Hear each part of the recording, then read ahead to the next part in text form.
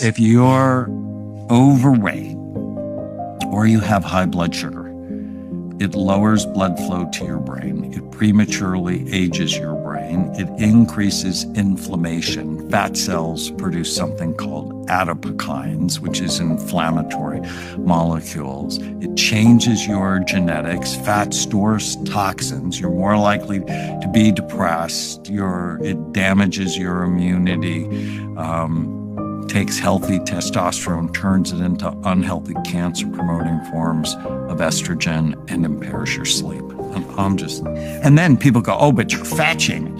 And it's like, no, I published a study on 33,000 people. As your weight goes up, the size and function of the brain goes down. Somebody's got to like say the truth. The truth is, being at an unhealthy weight is unhealthy for your brain and body.